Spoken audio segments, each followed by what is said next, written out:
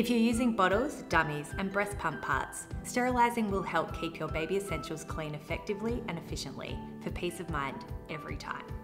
To do this, get into routine. Firstly, wash your bottles and parts in warm soapy water, rinse, then place inside your steriliser.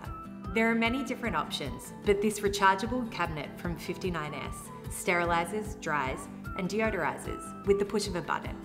It eliminates up to 99.9% of germs and bacteria from bottles, teats, soothers, teethers, small toys, and breast pump accessories in just three minutes with a drying time of 60 minutes.